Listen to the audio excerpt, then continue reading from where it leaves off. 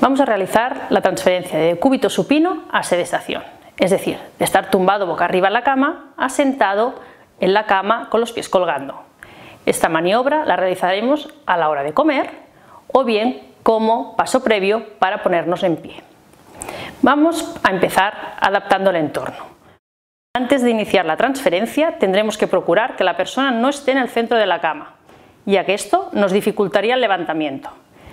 Neutralizaremos la extremidad inferior más próxima para disminuir la fricción con la cama y para hacer más fácil el movimiento.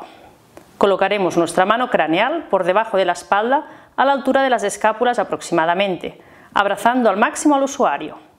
Nunca cogeremos por las cervicales ni dejaremos que se nos cojan de nuestro cuello. Con nuestra mano caudal, plana y con los dedos juntos, cogeremos la cara externa de la rodilla más lejana a nosotros. Adoptaremos una base de sustentación amplia, con las rodillas ligeramente flexionadas, mantendremos la zona abdominal y lumbar bien fuerte y la espalda recta. Simultáneamente haremos un movimiento con efecto brújula. La mano que envuelve la espalda empujará horizontalmente al mismo tiempo que la mano que está en contacto con las rodillas hará una tracción también horizontal. Nosotros, a la vez, pivotaremos sobre nuestros pies, formando un bloque con el usuario.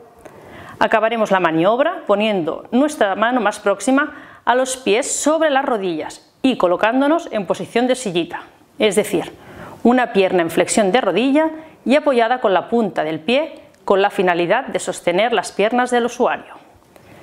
Hay que vigilar que esta maniobra puede comportar mareos o vértigos y para ello habrá que hacerla de manera lenta pero fluida y desacelerando en su trayectoria hacia el final.